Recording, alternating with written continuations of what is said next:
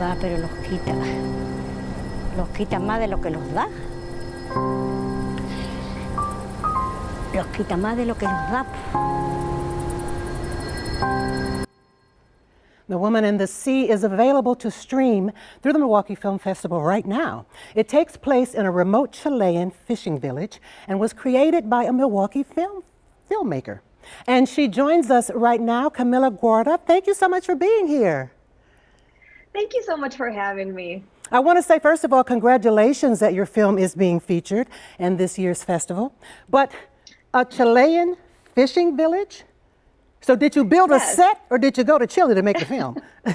well, I am Chilean. Okay. so I traveled back to my home country. I had this idea in my head for so many years, and I just decided to to travel back and go to this very remote fishing village. It has only about two thousand uh, people living there. Yes. Uh, and I made two trips to get to know the people, to see if they were on board with me actually making a film about them.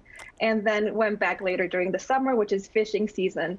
And uh, I got to meet these two amazing women. And so the story is about these two women?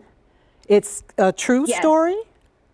Yes, it's a, it's, a, it's a short documentary. So we have on one side Julieta, who is a fisherwoman and the only fisherwoman in this village. She works in all male crews, and she has been doing this for the past 60 years. Uh, she started very, very young. And then the other woman that we were seeing there, she is Gloria, and she tends to symbolic cemetery that is there in the village. This is a symbolic cemetery because it has empty tombs for those who are lost at sea and never found again. Yeah. So it's it's really a film about these two women and how they navigate life and death at sea in this very remote fishing village. Wow. So Camila, tell me this. What would you like for people to take away from this film? Well, I think there are two main messages that really resonate with women all over the world, even though this was filmed in such a very far away country.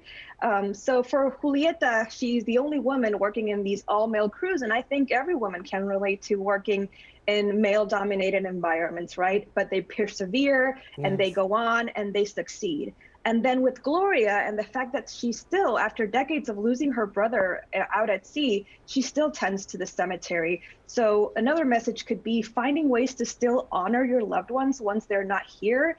And especially if you did not get the chance to say goodbye, like so many people do when they lose their loved ones, yes. still find ways to honor them and to find ways to remember them, not with sadness, but with joy and with these memories that you have of them. Yes, that is absolutely beautiful. I want to say again, thank you and congratulations. Thank, thank you. you so much.